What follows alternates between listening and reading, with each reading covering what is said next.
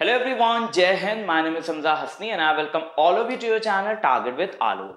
Junior state की बात कर रहे हैं तो सबसे पहले मैं इंग्लिश लैंग्वेज का सिलेबस डिस्कस कर लेता हूँ और जैसा कि आपको पता है कि टाइम कम है चीज़ें कवर करनी है तो हर एक चीज़ बहुत सटीक होनी चाहिए बहुत सेलेक्टेड uh, होनी चाहिए कि कितनी चीज़ें पढ़नी है कितनी चीज़ें छोड़नी है। तो यहाँ पर मैं आज डिटेल में बताऊँगा कि क्या क्या आपको पढ़ना है ठीक है? और उसके अलावा किसी और चीज़ की तरफ़ आपको नहीं देखना है अगर आपको अच्छा रिज़ल्ट चाहिए तो ठीक है? तो सबसे पहले सिलेबस हम डिस्कस कर लेते हैं कि क्या सिलेबस है इंग्लिश लैंग्वेज का क्या क्या आपको पढ़ना चाहिए ओके हम्म तो सिलेबस की बात करते हैं तो सबसे पहले तो आपकी आती है हिस्ट्री। हिस्ट्री किस चीज़ की? यहाँ हिस्ट्री सब्जेक्ट की बात नहीं हो रही है। History of English literature and language. English language और इंग्लिश लिटरेचर की हिस्ट्री आपको पता होनी चाहिए और ये बहुत ही बेसिक लेवल का पूछा जाता है। ठीक है?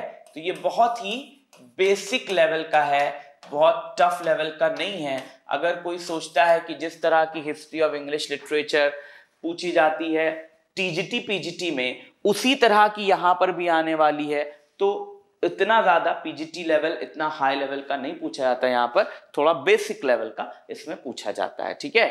फिर सेकेंड थिंग जो आपकी आती है इसके बाद वो ग्रामर का पॉइंट आता है। ग्रामर के पॉइंट को अगर हम डिटेल में समझें तो ग्रामर में बहुत कुछ आ जाता है। ठीक है? ग्रामर की बात कर रहे हैं तो ग्रामर में बहुत कुछ आ जाता है। मैं इसको डिटेल में बताता हूँ आपको दूसरे पेज में।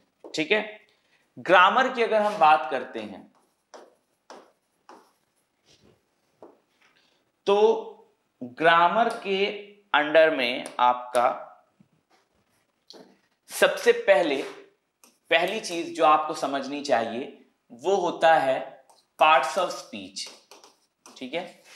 पार्ट्स ऑफ़ स्पीच एक ऐसा टॉपिक है जो ग्रामर में लगभग लगभग हर एग्ज़ाम में पूछा जाता है, किसी भी एग्ज़ाम में इसको छोड़ा नहीं जाता। हाँ इसके डिफरेंट लेवल होते हैं कि हम ग्रामर के कुछ ऐसे रूल्स है जो हम बहुत बहुत सारे रूल्स यहाँ पर नहीं पढ़ेंगे क्योंकि उनसे क्वेश्चंस नहीं बनते हैं। और बहुत सारे रूल्स ऐसे हैं जो जिससे हर जगह क्वेश्चंस बनते हैं, जिससे यहाँ भी बनने हैं तो उन्हें हम यहाँ पढ़ेंगे। ठीक है?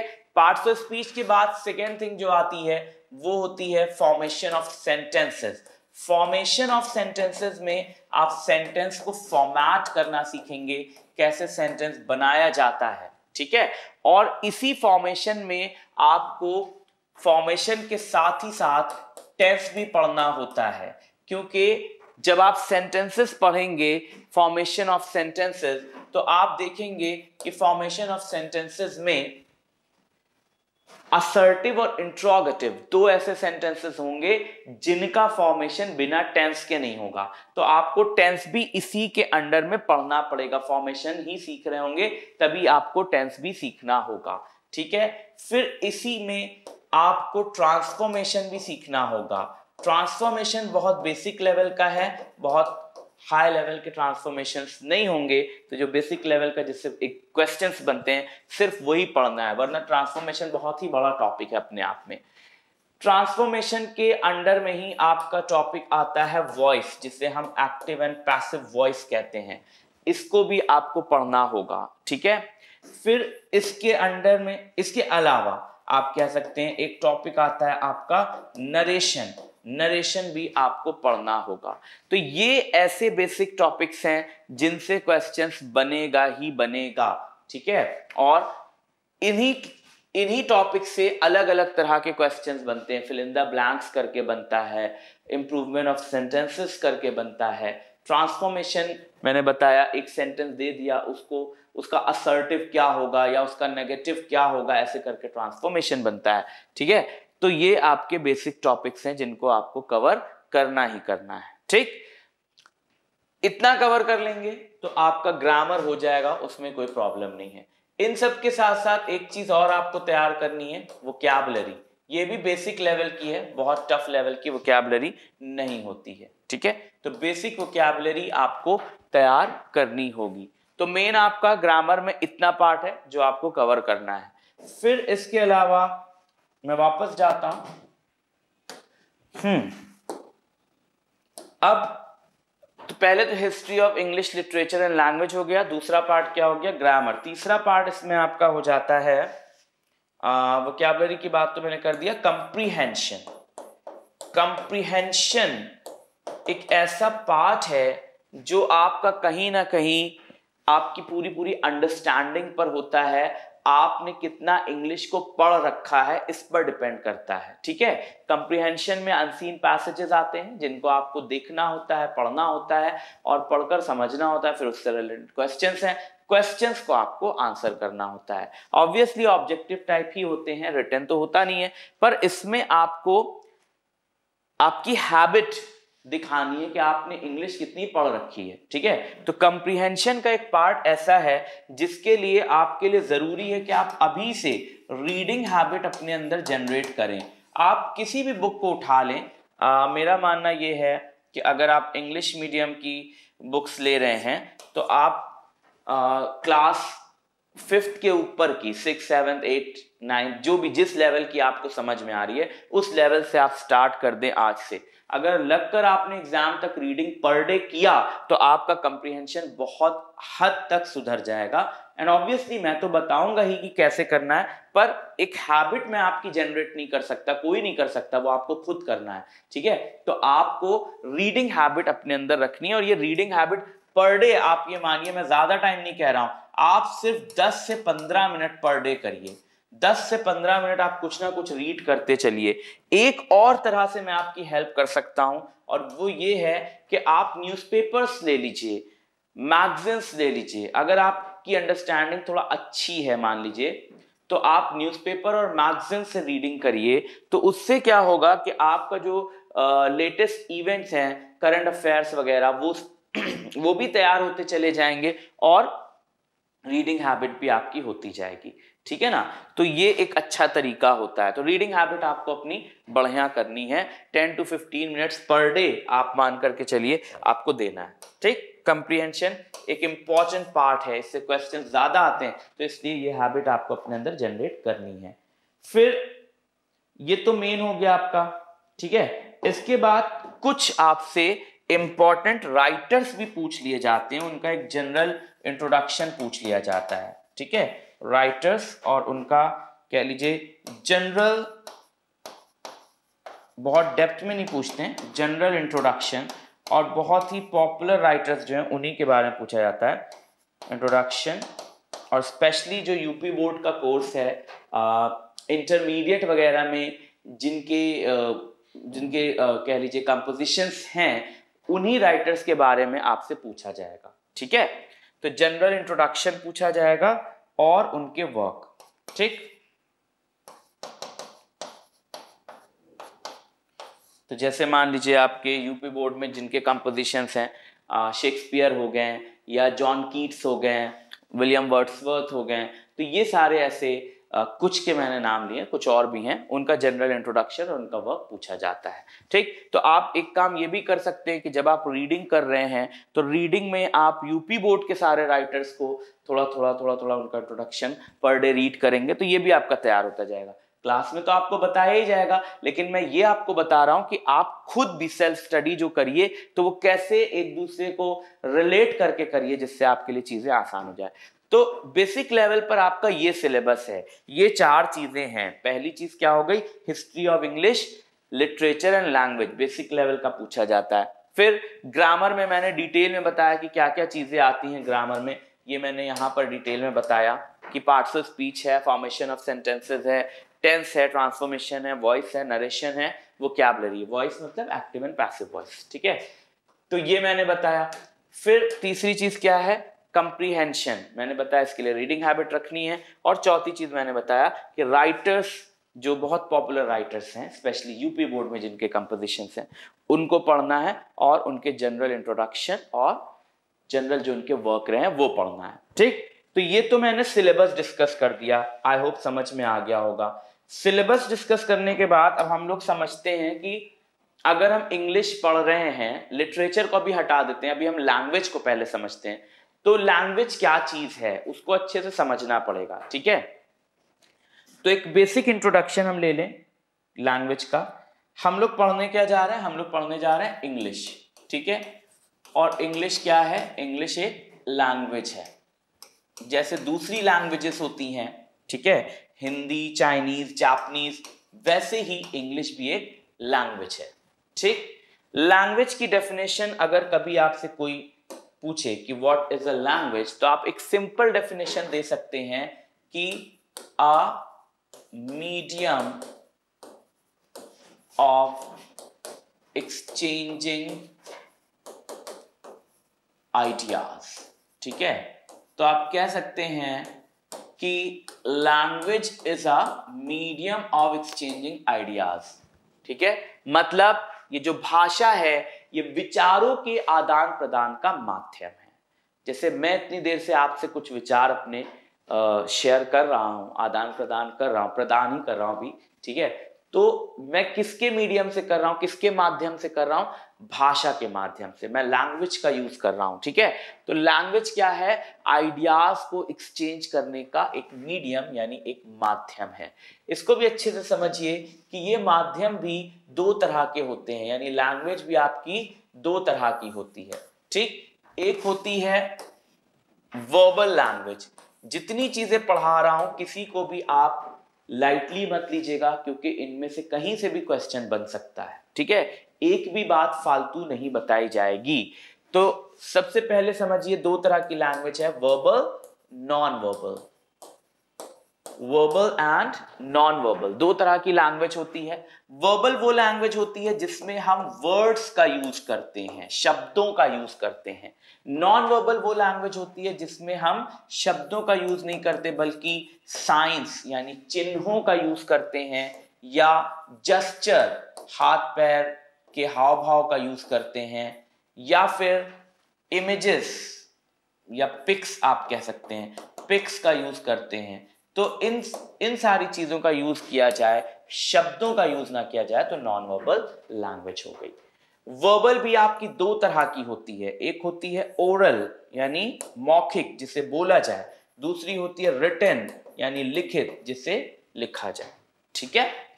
तो सपोज़ कहीं पर एक बोर्ड लगा हुआ है, और उस बोर्ड पर लिखा हुआ है नो स्मोकिंग तो इन्होंने क्या किया? इन्होंने शब्दों का प्रयोग किया है ना?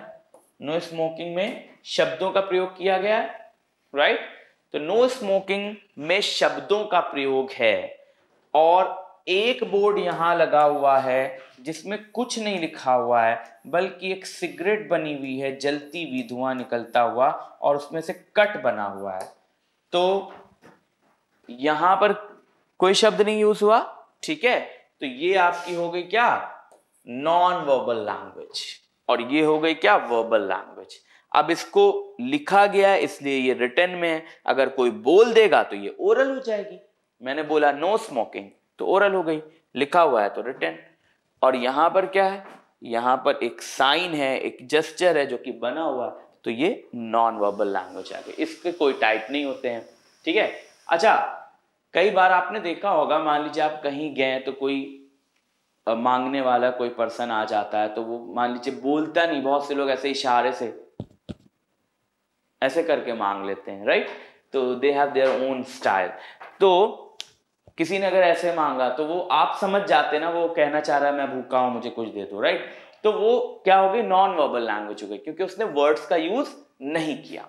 ठीक? तो आई होप ये क्लियर है कि भाषा विचारों के आदान प्रदान का माध्यम है।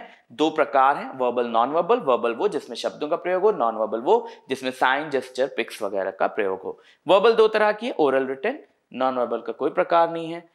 वर्बल देखिए यहाँ पर एग्ज़ाम्पल दिया नो स्मोकिंग और वहाँ पर एग्ज़ाम्पल दिया कि सिर्फ़ सिगरेट बनाकर कट कर दिया, ठीक है? तो अब हमने लैंग्वेज को समझ लिया। हमें कौन सी पढ़नी है? हमें नॉन वर्बल लैंग्वेज नहीं पढ़नी है, हमें वर्बल पढ़नी है। और वर्बल का भी हमें कौन सा पार्ट पढ़ना है? ओरल का पार्ट पढ़ना है। सॉरी रिटर्न का ओरल का हमें नहीं पढ़ना है। ठीक है? तो वर्बल का हम रिटर्न का पार्ट पढ़ेंगे, हम वापस आते हैं यहाँ पर। तो हमें एक चीज़ पता चली कि लैंग्वेज जो है, विचारों के आदान प्रदान का माध्यम है। यानी जब तक किसी को कोई कंप्लीट विचार ना मिले, तब तक लैंग्वेज नहीं हो सकती। राइट तो जैसे, मान लीजिए, मैं यहाँ पर आया और मैंने कहा एस्टेट मैंने कहा इंग्लिश मैंने कहा सिलेबस तो कुछ आइडिया मिला? नहीं मिला। आइडिया तब मिलेगा जब मैं कंप्लीट सेंटेंस बोलूँगा। मैं कहूँगा कि मैं एस्टेट के लिए जूनियर एस्टेट के लिए इंग्लिश का सिलेबस डिस्कस करने जा रहा हूँ। तो जब मैंने ये कंप्लीट सेंटेंस बोला then you got an idea right तब आइडिया आपको मिला। ठीक है ना? तो किसी भी आइडिया को कंप्लीटली एक्सप्रेस करने के लिए हमें एक कंप्लीट सेंटेंस बोलना होता है। तो लैंग्वेज किससे बनती है भाई? लैंग्वेज बनती है सेंटेंस से। अच्छा एक और बात आप लोग को बता दूँ। लैंग्वेज की स्टडी को ग्रामर कहा जाता है। बहुत से लोग सोचते हैं लैंग्वेज को ही ग्रामर कहा जाता है। नहीं लैंग्वेज को ग्रामर नहीं कहा जाता। लैंग्वेज की स्टडी को ग्रामर कहा जाता है। ठीक है? स्टडी ऑफ़ लैंग्वेज जैसे आप ऐसे भी समझ सकते हैं दूसरे शब्दों में कि खाने को तो आप फ़ूड कहते हैं, ठीक है? लेकिन खाना बनाने के तरीके को आप रेसिपी कहते हैं ना? रेसिपी को फ़ूड नहीं कहा जा सकता फ़ूड को रेसिपी नहीं कहा जा सकता राइट वैसे ही लैंग्वेज आप समझ लीजिए फ़ूड है और ग्रामर रेसिपी है, ठीक है? ऐसे समझ सकते हैं। तो ग्रामर हो गई स्टडी ऑफ़ लैंग्वेज और लैंग्वेज बनती किससे? सेंटेंस से. तो अगर हमें कभी कोई कोई लैंग्वेज सीखनी है तो हमें उसके सेंटेंसेस सीखने होते हैं। तो सेंटेंस की डेफिनेशन पता होनी चाहिए। सेंटेंस की, देखिए, मैं बता दूँ, आपके पास टाइम कम है, आपको ढेर सारा पढ़ना है। अगर आपके टीचर्स आपको कम टाइम में ढेर सारा पढ़ा रहे हैं तो वो आपकी ज़िम्मेदारी है कि आप उसे गेन करिए एकदम एक्टिव माइंड से बैठिए, चीज़ों को रिवाइज करिए, पर आपको गेन करना है, ठीक है? ज़्यादा मेहनत करना है डबल ट्रिपल जितनी हो सके उतनी, ठीक? अच्छा एक और इंपॉर्टेंट इंफॉर्मेशन ये है कि इस वीडियो के डिस्क्रिप्शन में एक टेलीग्राम का लिंक दिया होगा, जो कि सबके लिए, आप सबके लिए फ्री है। आप उस लिंक पर क्लिक करेंगे तो आप हमारे चैनल से टेलीग्राम पर जुड़ जाएँगे, ठीक है? और एग्ज़ाम से रिलेटेड जितनी भी इंफॉर्मेशन है बैच से रिलेटेड जितनी भी इंफॉर्मेशन है, वो आपको उसमें मिलेगी। अभी दो दिन हमारे वहाँ जूनियर एस्टेट के एडमिशन की जो प्रक्रिया है एडमिशन का जो भी फ़ेज़ है फॉर्मेट है, वो कंटिन्यू है। दो दिन तक हम एडमिशन ले रहे हैं तो आप टेलीग्राम लिंक पर जाइए क्लिक करके और वहाँ पर सारी डिटेल आपको मिल जाएगी, ठीक है? आगे बढ़ते हैं। तो अभी मैंने क्या बताया कि सेंटेंस से बनती है लैंग्वेज इसका मतलब हमें सेंटेंस पता होना चाहिए कि क्या है। सेंटेंस की डेफिनेशन जब हमने पढ़ी तो एक कॉमन सी डेफिनेशन हम देखते हैं, वो डेफिनेशन क्या है? A group of words which makes a which makes a complete sense यानी शब्दों का एक समूह, शब्दों का एक समूह जो बनाता है या देता है एक पूरा अर्थ। मैं यहाँ पर एक चीज़ और ऐड कर सकता हूँ। वो क्या कर सकता हूँ? A group of grammatically arranged words ये आपको समझाने के लिए, वरना डेफिनेशन इतने में भी इनफ है। तो ऐसे भी कह सकता हूँ, व्याकरण के अनुसार क्रमबद्ध, यानी सही क्रम में रखे हुए, यानी हर एक शब्द की अपनी जगह होती है। तो व्याकरण के अनुसार अपनी अपनी जगह पर रखे हुए शब्दों का समूह, जो पूरा भाव दे, कहलाता है सेंटेंस ठीक है? फॉर एग्ज़ाम्पल मैंने कहा, क्या कहा मैंने? वी लव आर कंट्री हम अपने देश से प्रेम करते हैं। Now we have one two three four words चार वर्ड्स हैं हमारे पास, और इन चारों वर्ड्स को हमने व्याकरण के अनुसार ग्रामर के अनुसार अपनी अपनी जगह पर रखा है। ठीक है? तो ये सारे शब्द अपनी अपनी जगह पर हैं, और सारे शब्द मिलकर एक पूरा भाव दे रहे हैं। ठीक है? पूरा सेंस दे रहे हैं। इसी को कहते हैं हम क्या? इसी को हम कहते हैं सेंटेंस अच्छा आपको बता दूँ कि आपको ग्रामर में एक क्वेश्चन इस तरह का भी मिलता है. फॉर्मेशन ऑफ़ सेंटेंस का ही वो पार्ट है, जो मैंने सिलेबस डिस्कस किया फॉर्मेशन ऑफ़ सेंटेंस उसका ही पार्ट है कि क्वेश्चन आपको ऐसे भी मिल सकता है कि सेंटेंस के जो वर्ड्स हैं, उनको अलग अलग जगह पर रख दिया. जैसे आर वी लव कंट्री ऐसे करके मान लीजिए दे दिया। सेंटेंस और बड़े हो सकते हैं, इतने इजी नहीं हो सकते। इतने इजी भी हो सकते हैं, पर इससे टफ भी हो सकते हैं, ठीक है? पर मैं फॉर्मेट एक समझा रहा हूँ आपको कि जैसे इस तरह से दे दिया तो आप देख रहे हैं यहाँ पर भी one two three four words हैं, लेकिन ये सारे वर्ड्स ग्रामेटिकली अरेंज्ड नहीं है। व्याकरण के अनुसार क्रमबद्ध नहीं है। तो इसलिए ये सेंटेंस नहीं कहलाएगा। वो आपको सेंटेंस बनाने के लिए इस तरह से वर्ड्स भी दे सकते हैं। ठीक है? तो सेंटेंस तभी होगा जब सारे वर्ड्स अपनी अपनी जगह पर होंगे और पूरा भाव दे रहे होंगे। तो आई होप इतनी बात समझ में आ गई। व्याकरण के अनुसार क्रमबद्ध शब्दों का समूह जो पूरा भाव दे कहलाता है sentence right now we talk about sentence ठीक है? तो सेंटेंस हो गया। अब सेंटेंस की डेफिनेशन से यह पता चला कि सेंटेंस बनता है वर्ड से।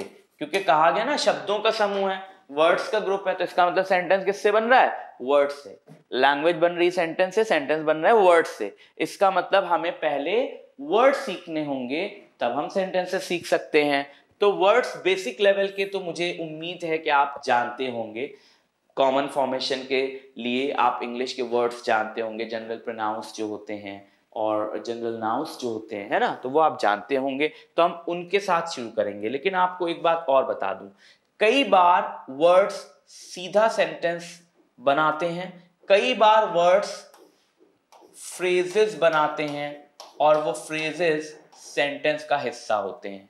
कई बार वर्ड्स क्लॉजेस बनाते हैं और वो क्लॉजेस सेंटेंस का हिस्सा होते हैं। तो हमें ये पता होना चाहिए कि क्लॉजेस क्या होती हैं और फ्रेजेस क्या होती हैं। ठीक है? क्लॉजेस और फ्रेजेस हमें पता होनी चाहिए। तो चलिए देखते हैं क्लॉजेस और फ्रेजेस क्या होती हैं। सबसे पहले मैं क्लॉजेस बताता हूँ, फिर फ्रेज बताऊँगा। क्लॉज की अगर बात किया जाए तो आप सिंपल शब्दों में ऐसे समझ सकते हैं कि क्लॉज जो है वो एक स्मॉल सेंटेंस है, छोटा सेंटेंस है। अ स्मॉल सेंटेंस पूरा लिख देता हूँ। इन अ लार्ज सेंटेंस किसी बड़े सेंटेंस के अंडर में, किसी बड़े सेंटेंस के अंदर छोटे सेंटेंसेस जो होते हैं, वो कहलाते हैं क्या? क्लॉज कहलाते हैं। फॉर एग्ज़ाम्पल मैंने लिखा, क्या लिखा? मैंने लिखा आई वेंट देयर तो आप देख रहे हैं, ये एक सेंटेंस है ना? आई वेंट देयर फिर मैंने लिखा I wanted to see you मैं तुमसे मिलना चाहता था। तो दो सेंटेंसेस हो गए ना? अब ये जो दो सेंटेंसेस हैं मान लीजिए मैंने किसी कंजंक्शन से इन दोनों को एक कर दिया और मैंने क्या लिखा? I went there because I wanted to see you तो दो सेंटेंस अब नहीं रह गए ना, अब तो एक सेंटेंस हो गया। लेकिन जो एक सेंटेंस के अंदर छोटे सेंटेंसेस हैं, वो अब क्या कहलाएँगे? वो कहलाएँगे क्लॉजेस ठीक है? तो क्लॉजेस के लिए ये ज़रूरी है कि आपके पास सब्जेक्ट प्लस वर्ब का फॉर्मेट हो। सब्जेक्ट प्लस वर्ब का फॉर्मेट जैसे यहाँ दोनों में मिल रहा है ना, एक सब्जेक्ट प्लस एक फाइनाइट वर्ब एक सब्जेक्ट प्लस एक फाइनाइट वर्ब फाइनाइट वर्ब आप ऐसे समझ लीजिए, जो टेंस के अकॉर्डिंग होती है, जो टेंस बदलने पर अपनी फॉर्म चेंज करती है है ना? तो पास्ट टेंस में ये भी है, ये भी पास्ट टेंस में, है ना? अगर प्रेजेंट में करते तो दोनों प्रेजेंट में हो जाती ये हो जाता I go there because I want to see you ऐसे हो जाता है ना? तो जो वर्ब्स टेंस के अकॉर्डिंग चेंज होती हैं, जिनका फॉर्म जिनकी फॉर्म चेंज होती है, वो फाइनाइट वर्ब होती हैं। तो इसकी खासियत क्लॉज आप ऐसे पहचान सकते हैं कि उसमें एक सब्जेक्ट प्लस एक फाइनाइट वर्ब होगा। अगर सब्जेक्ट प्लस फाइनाइट वर्ब नहीं मिल रहा है तो वो क्लॉज नहीं हो सकती। ठीक? तो क्लॉज किसी बड़े सेंटेंस के अंडर में कोई छोटा सेंटेंस कहलाता है। ठीक है? तो आई होप इतनी बात अच्छे से क्लियर हो गई। अब हम आगे बढ़ते हैं और बात करते हैं फ्रेज की। किसकी बात करते हैं? फ्रेज की। तो फ्रेज की जब बात करेंगे तो आप ऐसे समझ सकते हैं कि फ्रेज एक छोटा ग्रुप होता है सेंटेंस का स्मॉल ग्रुप जनरली छोटा होता है, पर ज़रूरी नहीं है कि छोटा ही हो। A small group of words which makes a sense, but not a complete sense. क्या अर्थ हुआ? इसका अर्थ यह हुआ कि जैसे सेंटेंस शब्दों का समूह है, वैसे ही फ्रेज भी शब्दों का एक छोटा समूह होता है। लेकिन सेंटेंस कंप्लीट सेंस देता है, पूरा भाव देता है, फ्रेज कंप्लीट सेंस नहीं देगा, ठीक है? कुछ भाव देगा पर कंप्लीट सेंस नहीं देगा, ठीक? जैसे मान लीजिए, आपसे मैंने कहा ऑन द टेबल मेज पर तो आप कुछ समझे? नहीं समझे। या मैंने कहा एट थ्री ओ क्लॉक तीन बजे। एट थ्री ओ क्लॉक तीन बजे। आप कुछ समझे? नहीं समझे? लेकिन अगर मान लीजिए आपने मुझसे पूछा, मेरा बैग कहाँ है? और तब मैंने कहा ऑन द टेबल तो सेंस मिल गया ना? आप समझ गए? टेबल पर है। या आपने मुझसे पूछा, कब मिलूं? मैंने कहा एट थ्री ओ क्लॉक तो आप समझ गए राइट तो यही है। तो फ्रेज क्या है? भाव देता है, पर पूरा भाव नहीं देता है। ठीक है? या दूसरे शब्दों में आप ऐसे भी कह सकते हैं कि जब एक से अधिक शब्द मिलकर एक समय, एक व्यक्ति, एक जगह कोई एक चीज़ की बात करे एक चीज़ को व्यक्त करने के लिए एक से ज़्यादा शब्दों का प्रयोग करना हो तो वो जो एक से ज़्यादा शब्दों का समूह है, वो फ्रेज कहलाता है। जैसे मैं अगर नाउन फ्रेज की बात करता हूँ तो मैंने लिखा, the prime the prime minister of India. अगर मैंने लिखा the prime minister of India तो आप देख रहे हैं यहाँ पर भले ही one, two, three, four, five words हैं। कई बार तो फाइव वर्ड से कम में भी सेंटेंसेस भी बन जाते हैं ना? ये फाइव वर्ड्स मिल करके, सारे मिल करके किसी एक व्यक्ति को प्रेजेंट कर रहे हैं ना? एक व्यक्ति को प्रेजेंट कर रहे हैं ना? सारे वर्ड्स मिल करके। ठीक है? और ये नाउन की तरह काम कर रहे हैं, ठीक है? उनका कुछ, उनकी डेजिग्नेशन का नाम बता रहे हैं राइट तो ये क्या हो गया? नाउन फ्रेज हो गया, ठीक है? अगर एक वर्ड होता तो वो नाउन होता। और ज़्यादा वर्ड्स हैं नाउन का काम कर रहे हैं तो नाउन फ्रेज ठीक है? इसी तरह से वर्ब फ्रेजेस होती हैं, ठीक है?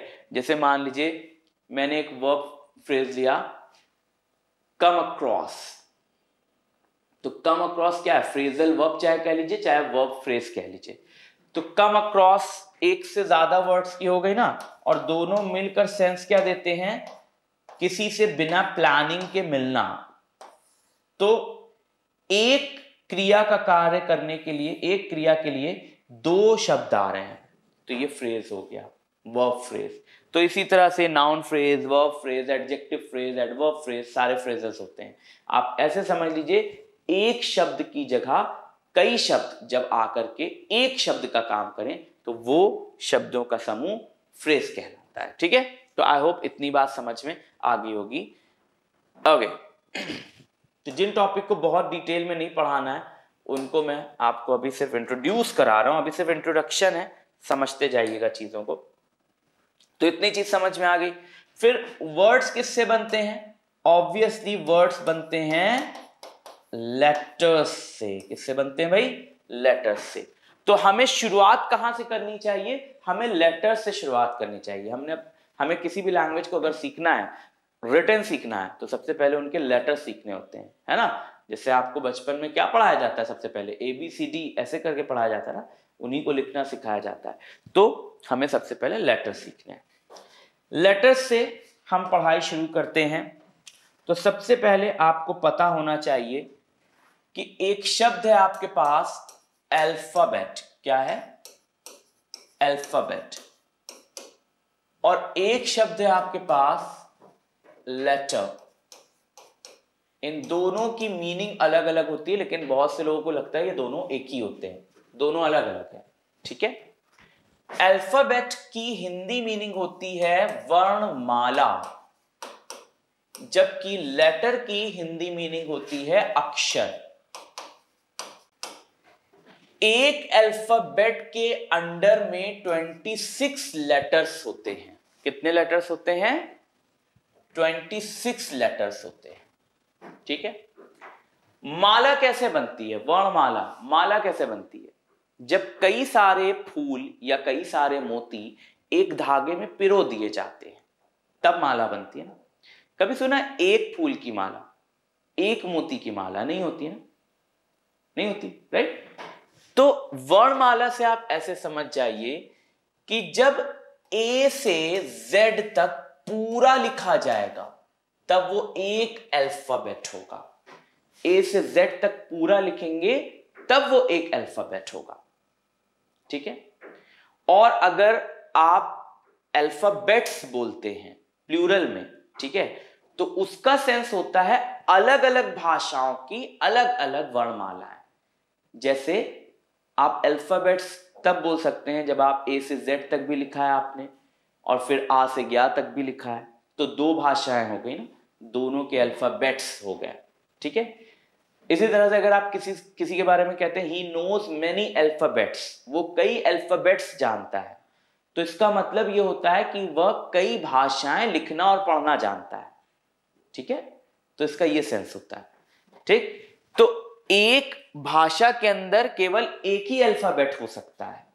इंग्लिश के अंदर केवल एक ही अल्फ़ाबेट हो सकता है। ए से जेड तक पूरा लिखा गया एक अल्फ़ाबेट और उस अल्फ़ाबेट के पार्ट्स हैं लेटर्स तो लेटर्स हमारी इंग्लिश में एक अल्फ़ाबेट के अंदर 26 लेटर्स है। तो इसमें से कोई भी एक ले लीजिए, आपने बी ले लिया, आपने एन ले लिया, आपने ओ ले लिया, आपने जी ले लिया एक्सेट्रा ये सारे क्या हैं? ये लेटर्स हैं। ठीक है? एक एग्ज़ाम्पल से भी मैं समझाता हूँ कि अगर मान लीजिए आपके पास कोई एक सेंटेंस इस तरह का आ जाता है कि there are five there are five alphabets in India ठीक है? इंडिया वर्ड लिखा गया। और कहा गया इसमें पाँच अल्फाबेट्स है। आपने देखा one two three four five five तो है, लेकिन ये अल्फाबेट्स थोड़ी ना। ये तो लेटर्स हैं। अल्फ़ाबेट तो तब होता है जब ए से जेड तक पूरा लिखते हैं, है ना? तो फाइव अल्फाबेट्स नहीं होंगे। फाइव लेटर्स होंगे। तो there are five letters in India ये सेंस आएगा। ठीक? तो आई होप ये बात समझ में आ गई सबको। There are five letters in India अब जब हमने इस चीज़ को जान ही लिया, समझ ही लिया तो देखते हैं। मैंने क्या बताया? मैंने बताया कि एक अल्फ़ाबेट है, एक अल्फ़ाबेट इंग्लिश का है तो उसमें ट्वेंटी सिक्स लेटर्स हैं, है ना? तो ये जो एक अल्फ़ाबेट है, ये जो 26 लेटर्स हैं, इनको दो पार्ट्स में बांटा गया है, ठीक है? एक पार्ट कहलाता है वावल क्या कहलाता है?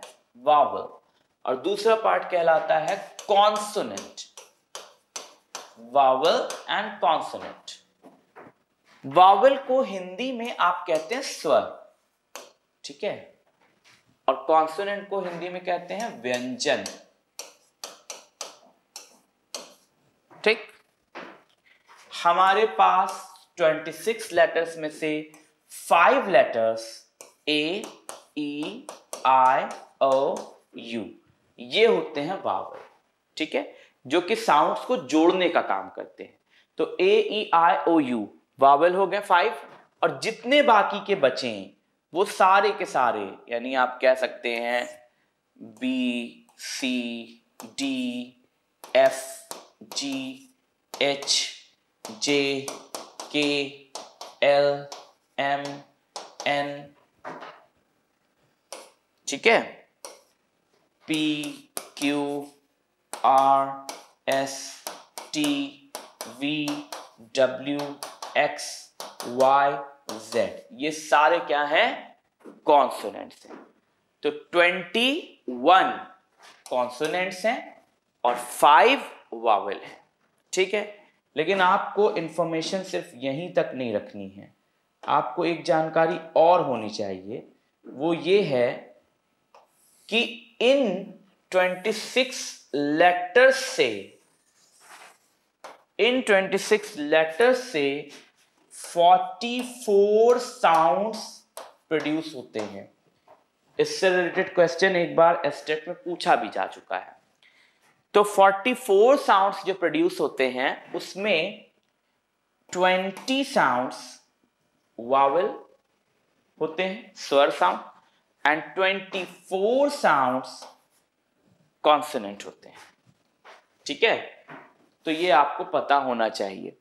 कि फाइव वावल हैं ट्वेंटी वन कॉन्सनेंट हैं, लेकिन टोटल फोर्टी फोर साउंड्स हैं, जिसमें ट्वेंटी साउंड्स वावल हैं and twenty four sounds consonant हैं। ठीक? तो आई होप इतनी बात क्लियर हो गई होगी। समझ में आ गया होगा। अच्छा इन साउंड्स को बहुत डिटेल में आपको नहीं पढ़ना होता है। इसको डिटेल में पढ़ने की ज़रूरत नहीं होती, उनसे क्वेश्चंस नहीं बनते हैं। ठीक है? तो इसलिए आपको टाइम को देखते हुए इनको डिटेल में नहीं पढ़ाया जाएगा। पर किसी का अगर मूड करे कि वो देखना चाहता है तो हमारे चैनल पर एक वीडियो मेरा है टारगेट विद आलोक चैनल पर आप सर्च करेंगे तो साउंड्स का एक वीडियो मिल जाएगा। एग्ज़ाम के बाद अगर मन हो जानने का कि साउंड्स जाने तो आप उस वीडियो को देख सकते हैं। ठीक है? आगे बढ़ते हैं हम तो ये चीज़ क्लियर हो गई। अब लेटर में या अल्फ़ाबेट में इससे ज़्यादा पढ़ने के लिए हमारे पास कुछ नहीं है। हाँ लेकिन जब हम वर्ड्स की बात करते हैं तो वर्ड्स के बारे में हमें जानना चाहिए। देखिए, अभी मैं सिर्फ़ इंट्रोडक्शन दूँगा वर्ड्स का भी और बहुत डेप्थ में नहीं पढ़ाऊँगा, ठीक है? डेप्थ में, बाद में पढ़ाऊँगा। अभी सिर्फ़ जान पहचान करा दूँ। वर्ड्स की अगर आप बात करें तो वर्ड्स हमारे क्या होते हैं? वर्ड्स हमारे वाक्यों के हिस्से होते हैं पार्ट्स होते हैं। वर्ड्स की जब हम स्टडी करते हैं तो जो हमारा टॉपिक बनता है, वो बनता है पार्ट्स ऑफ़ स्पीच देखिए, वैसे तो आपको बता दूँ, लगभग थर्टी लाख कॉमन यूज़ के वर्ड्स हैं। उन सारे वर्ड्स को हमें नहीं सीखना, लेकिन उनकी कैटेगरी तो सीखना पड़ता है ना, कि उनकी कैटेगरी क्या है, किस कैटेगरी में आते हैं, ठीक है? तो उन कैटेगरीज की जब हम बात करते हैं तो पार्ट्स ऑफ़ स्पीच स्पीच को इंग्लिश में सेंटेंस भी कहते हैं। तो जैसा कि हमें पता है कि जो वर्ड्स हैं, वो सेंटेंस के पार्ट्स होते हैं। क्योंकि वर्ड से ही तो सेंटेंस बनता है ना। तो वर्ड्स क्या हो? सेंटेंस के पार्ट्स में। तो सेंटेंस के पार्ट्स होते हैं वर्ड और इसीलिए इस टॉपिक का नाम रखा गया पार्ट्स ऑफ़ स्पीच क्योंकि इसके अंदर हम वर्ड्स की स्टडी करते हैं। तो वर्ड्स को नाइन कैटेगरीज में बांटा गया है। कितनी कैटेगरीज में? नाइन तो हमारे नाइन पार्ट्स ऑफ़ स्पीच होते हैं। तो नाइन कैटेगरीज हमारी जो हैं, उनको हम देखते हैं। जिनमें पहली कैटेगरी हमारी जो आती है, वो है नाउन नाउन की बहुत सारी डेफिनेशन आपको मिलेंगी। मैं एक सिंपल सी डेफिनेशन देता हूँ। नाउन इज़ नेम नाउन नाम है। आप आगे लिख सकते हैं। Noun is the name of a person place thing animal feelings emotions जितना भी जोड़ते जाइए। तो इन शॉर्ट जब हर चीज़ का नाम नाउन है तो सीधा सीधा कह दीजिए नाउन इज़ नेम नाउन नाम है, चाहे वो किसी भी चीज़ का नाम व्यक्ति का हो, वस्तु का हो एनिमल का हो फीलिंग्स का हो इमोशंस का हो, किसी भी चीज़ का नाम नाउन है, ठीक है? तो इन शॉर्ट कह सकते हैं noun is name for example आपने कहा बुक किसी ऑब्जेक्ट का नाम है, आपने कह दिया, राहुल किसी व्यक्ति का नाम है, आपने कह दिया मिल्क किसी मटेरियल किसी चीज़ का नाम है, आपने कह दिया गोल्ड किसी मटेरियल का नाम है, आपने कह दिया एयर एयर भी तो किसी चीज़ का नाम है ना। आपने कह दिया, वैसे मटेरियल नाउन में आता है एयर आपने कह दिया हैप्पीनेस तो हैप्पीनेस यानी प्रसन्नता, खुशी। तो किसी इमोशन का नाम है। ठीक है? बहुत से लोग कंफ्यूज हो सकते हैं कि हैप्पीनेस तो एडजेक्टिव है, लेकिन बता दू हैप्पीनेस नाउन है। हैप्पी एडजेक्टिव होता है। ठीक है? तो किसी भी चीज़ का नाम नाउन है। ठीक? और अगर मान लीजिए आपको कभी कंफ्यूजन है किसी वर्ड को लेकर कि, वो नाउन है या नहीं है आपको उसे चेक करना है तो आप सिंपल सा एक फॉर्मूला ले लीजिए to check a noun use it with use it with my your his her its etc. ठीक है? मेरा, उसका, तुम्हारा, ऐसे किसी वर्ड के साथ लगा करके देख लीजिए। अगर वो सेट हो रहा है तो वो नाउन है। सेट नहीं हो रहा है तो नाउन नहीं है। फॉर एग्ज़ाम्पल अगर मैंने कहा हैप्पीनेस तो हैप्पीनेस मतलब क्या होता है? ऑब्वियसली आपको मीनिंग पता होना चाहिए। अगर मीनिंग ही नहीं पता है, तब तो फिर वो वर्ड आपके लिए कुछ नहीं है। वो काला अक्षर भैंस बराबर हो जाएगा फिर। तो जैसे मैंने हैप्पीनेस कहा, आपको पता है हैप्पीनेस की हिंदी मीनिंग है प्रसन्नता। लेकिन फिर भी आप कंफ्यूज हैं कि ये नाउन है या एडजेक्टिव है। तो आप उसको माए के साथ लिख कर देख लीजिए, माए योर हिज हर के साथ। सेट हो रहा है ना, मेरी प्रसन्नता, तुम्हारी प्रसन्नता। ऐसे हम बोलते हैं ना, मेरी प्रसन्नता। ठीक है? भाई, मेरा मन, मेरी प्रसन्नता, मेरी खुशी, तुमसे क्या मतलब है? ऐसे बोलते हैं ना। तो सेट हो रहा है। लेकिन अगर आपने वर्ड लिखा हैप्पी हैप्पी वर्ड जैसे ही आपने लिखा, आपको इसकी हिंदी मीनिंग पता है प्रसन्न। तब आप इसके साथ कुछ लगा कर देखिए माई हैप्पी ऐसा होता है क्या? मेरा प्रसन्न, तुम्हारा प्रसन्न? नहीं। आप फिर इसके आगे नाउन जोड़ सकते हैं। मेरा प्रसन्न मन, मेरा प्रसन्न भाई, मेरी प्रसन्न बहन। ठीक है? लेकिन केवल मेरा प्रसन्न कोई सेंस नहीं दे रहा है राइट तो जिनके भी साथ आप माँ हिज हर वगैरह जोड़ सकते हैं, वो नाउन है।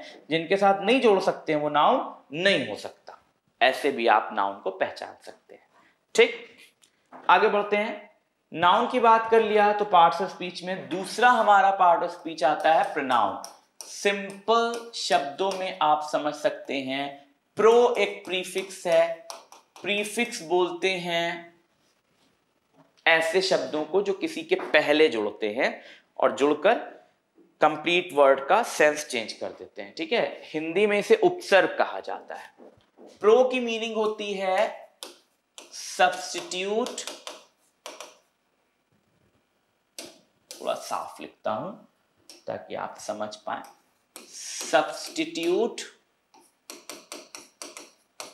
फॉर ये प्रो की मीनिंग होती है। और नाउन अभी हम पढ़ ही चुके हैं नेम तो प्रोनाउन का मतलब क्या हो गया? सब्सटीट्यूट फॉर नेम यानी नाम ना लेकर के, नाम के जगह पर कोई दूसरा शब्द बोल दिया जाए, जिससे आप किसी के बारे में बात कर सकें। तो ऐसा शब्द क्या है? प्रोनाउन है, ठीक है? दूसरे शब्दों में, आसान शब्दों में आप ऐसे भी कह सकते हैं a word in place of a noun यानी किसी नाउन की जगह पर दूसरा शब्द। ठीक है? फॉर एग्ज़ाम्पल आप किसी के बारे में बात कर रहे हैं, आपने कहा, राहुल मुझे जानता है, वह मुझसे मिलता है। तब वह तो उसका नाम नहीं है, लेकिन आपने उसके नाम की जगह दूसरा शब्द यूज़ किया जिससे कि आप उसके बारे में बात कर सकें। ठीक है? तो वह, ठीक? He she it I we you they who what when who, what, when नहीं। Someone, somebody, no one, nobody, anyone, anybody, ठीक है etc तो ये सब क्या है? ये सब आपके प्रोनाउंस हैं। ठीक? नाम की जगह पर प्रयोग होने वाले शब्द। तो प्रोनाउन समझ में आ गया, आगे बढ़ते हैं। नाउन प्रोनाउन जब समझ में आ जाता है तो तीसरी चीज़ आपको जो समझना चाहिए, वो क्या है? एडजेक्टिव एडजेक्टिव ऐसा वर्ड होता है जो हमें कुछ बताता है विच टेल्स अस हमें बताता है। क्या बताता है? समथिंग कुछ भी बता सकता है। Which tells us something about किसके बारे में? अ नाउन और अ प्रोनाउन यानी किसी नाउन या प्रोनाउन के बारे में कुछ बताने वाला शब्द एडजेक्टिव होता है। ठीक है? किसके बारे में? नाउन या प्रनाउन के बारे में। कुछ बताने वाला शब्द होता है क्या? एडजेक्टिव जैसे मैंने लिखा ही इज़ फास्ट वह तेज है। तो यहाँ पर फास्ट वर्ड किसके बारे में बता रहा है? ही के बारे में। तो फास्ट वर्ड क्या हो गया? एडजेक्टिव हो गया। मैंने कहा यू आर ब्यूटिफुल तो यू के बारे में बता रहा है। यू क्या है? ब्यूटिफुल है। तो ब्यूटिफुल क्या हो गया? एडजेक्टिव हो गया। ठीक है? मैंने नाउन के बारे में जैसे मैंने कहा कि आई हैव वाइट हॉर्स मेरे पास एक सफ़ेद घोड़ा है। तो घोड़ा, घोड़े के बारे में कौन सा वर्ड बता रहा है? व्हाइट व्हाइट क्या हो गया? एडजेक्टिव तो नाउन के बारे में जो बता रहा है, वो भी एडजेक्टिव है।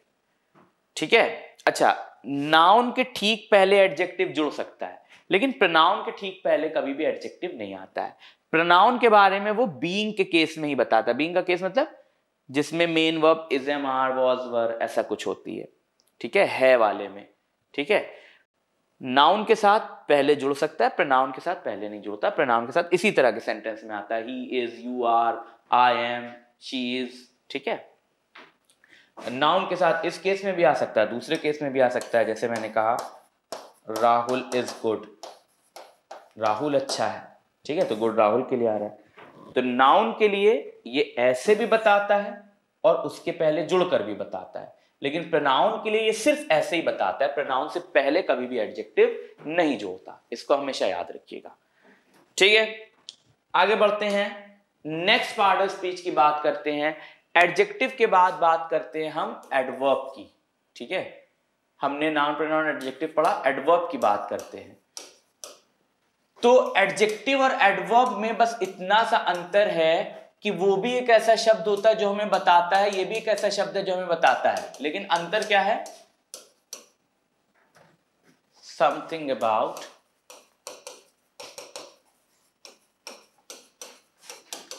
any part of speech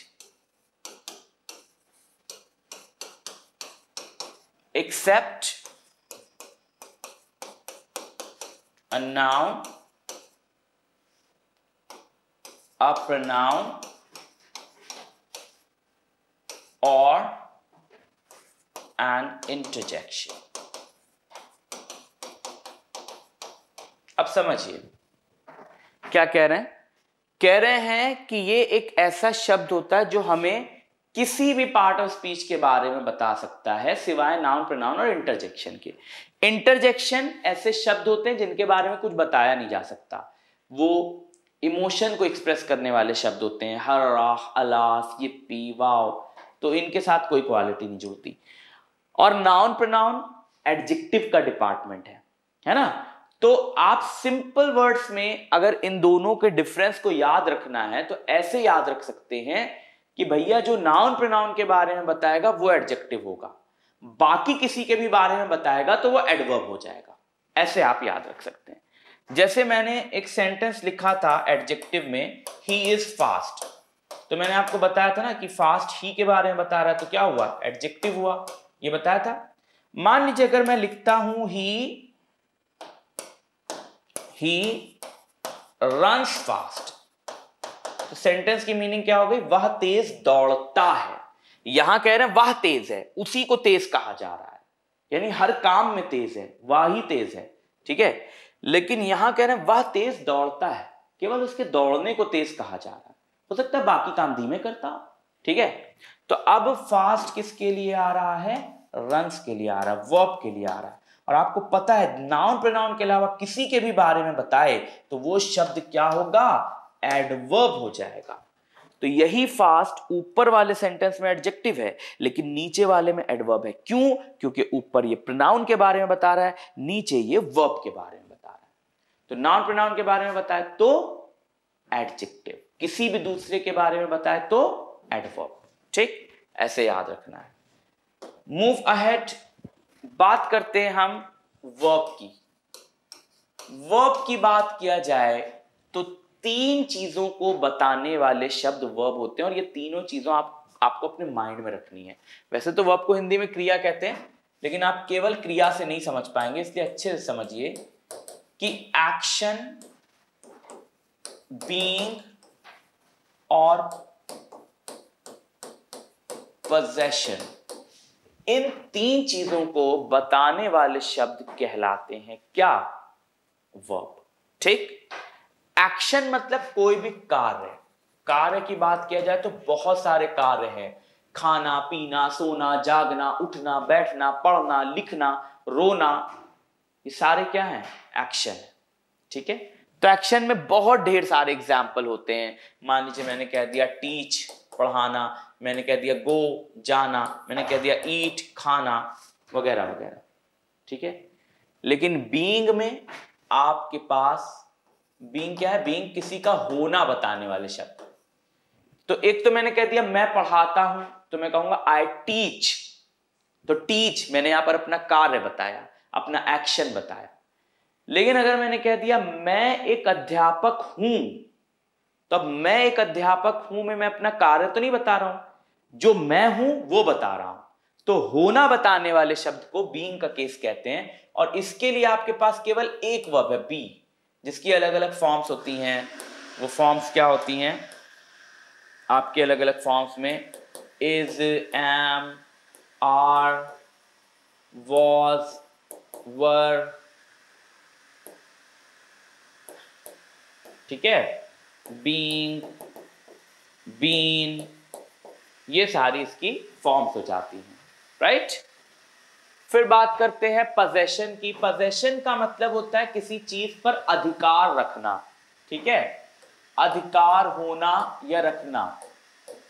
तो अगर किसी ने कहा कि मेरे पास कुछ है, मेरे पास एक कलम है, मेरे पास पैसा है तो किसी के पास होना, इस सेंस को हम पोजेशन कहते हैं। और इसके लिए भी आपके पास केवल एक वर्ब है, वो है हैव जिसकी अलग अलग फॉर्म्स होती हैं हैज़ या हैव हैड और हैविंग ये फॉर्म्स होती हैं।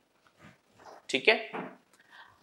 अब जैसे कि मैं तीन तरह से अपने बारे में बता सकता हूँ। एक तो मैं अपना काम बता सकता हूँ, जो मैं एक्शन करता हूँ, मैं पढ़ाता हूँ आई टीच कार्य बता दिया।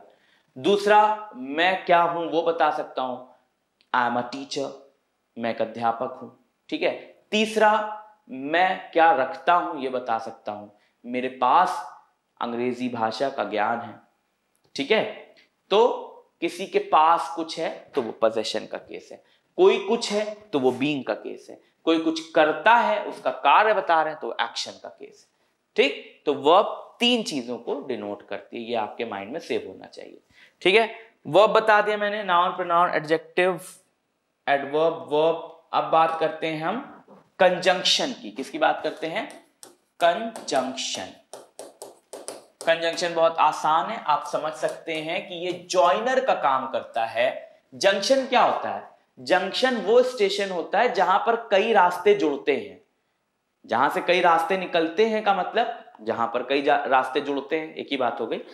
तो जो जोड़ता है कई रास्तों को, वो जंक्शन है। उसी से आप याद रख सकते हैं conjunction a word which joins ऐसा शब्द जो जोड़ता है, ठीक है? विच जॉइंस किसे जोड़ता है? टू डिफरेंट दो अलग अलग वर्ड्स को फ्रेजेस को, या क्लॉजेस को। ठीक है? तो दो अलग अलग शब्दों को, वाक्यांशों को फ्रेज को हिंदी में वाक्यांश कहते हैं। या उपवाक्यों को जोड़ने का काम करे, वो कहलाता है क्या? कंजंक्शन और ऐसे हमारे पास ढेरों एग्जाम्पल्स हैं, जैसे एंड है। आपने एंड से आप जोड़ते हैं ना? I bought a pen and a pencil तो a pen and a pencil तो एंड ने जोड़ा ना पेन और पेंसिल को। इसी तरह से बिकॉज़ है I went there because I want to see him मैंने इस तरह का लिखा है ना सेंटेंस फिर येट है बट है एटसेट्रा और जो एक से ज़्यादा वर्ड्स के होते हैं, उन्हें हम कंजंक्शनल फ्रेज कहते हैं, ठीक है? तो कुछ कंजंक्शनल फ्रेजेस भी बहुत कॉमन है। कंजंक्शन फ्रेज चाहे कह लीजिए, चाहे कंजंक्शनल फ्रेज कह लीजिए। Both the words are correct तो उसमें जैसे एक से ज़्यादा वर्ड का है एज वेल एज है ना? या टुगेदर विद अलोंग विद या नॉट ओनली बट ऑल्सो है ना? तो ये सब कंजंक्शनल फ्रेज में आ जाते हैं। या आप कह सकते हैं आइदर और नाइदर नॉर एटसेट्रा आइदर के साथ नॉर मैंने लिख दिया, जबकि ऐसा कभी नहीं हो सकता कि आइदर के साथ नॉर है। आइदर के साथ और ही आएगा। ठीक? तो ये आई होप कंजंक्शन भी आपको समझ में आ गया। फिर बात करते हैं हम नेक्स्ट देखिए, मैंने क्या क्या पढ़ाया? नाउन पढ़ाया प्रनाउन पढ़ाया एडजेक्टिव पढ़ाया एडवर्ब पढ़ाया वर्ब पढ़ाया कंजंक्शन पढ़ाया। ठीक है, अब मैं आगे बढ़ रहा हूँ। सेवन पार्ट ऑफ़ स्पीच बता रहा हूँ, जिसे हम कहते हैं इंटरजेक्शन और इंटरजेक्शन में पहले भी बता चुका हूँ, जब मैं एडवर्ब बता रहा था, फिर से बता देता हूँ। आप सिंपल वर्ड में समझ जाइए कि एक ऐसा शब्द है अ वर्ड विच एक्सप्रेसेस जो व्यक्त करता है। एक्सप्रेस करता है, यानी कि व्यक्त करता है। क्या? एन इमोशन किसी भाव को। वैसे तो आप किसी के अंदर के भाव को समझ नहीं सकते लेकिन अगर उसने किसी इंटरजेक्शन को बोला तो आप उसके भाव का आइडिया ज़रूर लगा सकते हैं। ठीक है? कि उस, वो खुश है, दुखी है, क्या है? ठीक है? जैसे अगर कोई खुश होता है तो कह देता है हराह हराह आवन। ठीक है? बहुत से लोग इसे हुर्रे हुर्रे भी एक वर्ड है, आपको बता दूँ, ऐसे भी लिखा जाता है। ठीक? हुर्रे पढ़ते हैं उसे। तो हर्रा हुर्रे ऐसे करके राइट या कोई दुखी है तो वो कह देता है, अलास, या दुख में है, पीड़ा में आह राइट या मान लीजिए कोई गुस्से में है तो उसने कह दिया, शुगर शुगर वर्ड आपके लिए हो सकता है, नया हो इंटरजेक्शन में। एक तो शुगर चीनी होती है, वो तो जानते हैं आप, लेकिन एक शुगर इंटरजेक्शन होता है। तो बहुत से बहुत से लोग ऐसे बोलते हैं ना, गुस्से में धत। इंग्लिश में बहुत से लोग कह देते हैं शिट जबकि आपको बता दो शिट ऑफेंसिव वर्ड है। उसे नहीं बोलना चाहिए। खराब वर्ड है। उसे नहीं यूज़ करना चाहिए। ठीक है? तो आप उसकी जगह शुगर यूज़ कर सकते हैं। ये ऑफेंसिव नहीं है। ठीक है? तो किसी बात पर कहना है, धत तो आप कह सकते हैं शुगर मान लीजिए मैंने आपसे कहा कि ये ये बुक लेते आना, आप भूल आए। रास्ते में याद आया तो आपने कहा दद बुक तो भूला है, sugar forgot book at home तो इस तरह से आप बोल सकते हैं, ठीक है? तो इंटरजेक्शन भी आई होप क्लियर है। फिर आगे बढ़ते हैं। बात करते हैं एट पार्ट ऑफ़ स्पीच की, जिसे हम कहते हैं प्रेपोजिशन क्या कहते हैं भाई? प्रेपोजिशन प्रेपोजिशंस की तमाम डेफिनेशंस मिलती हैं बुक्स में। जैसे कि एक डेफिनेशन मिलती है कि preposition is a word which joins an object to its verb. या to the verb of of the sentence या to its sentence, ऐसे करके। यानी आप कह सकते हैं कि बुक में मिलता है कि preposition ऐसा शब्द होता है जो ऑब्जेक्ट को वर्ब से या सेंटेंस से जोड़ता है। ठीक?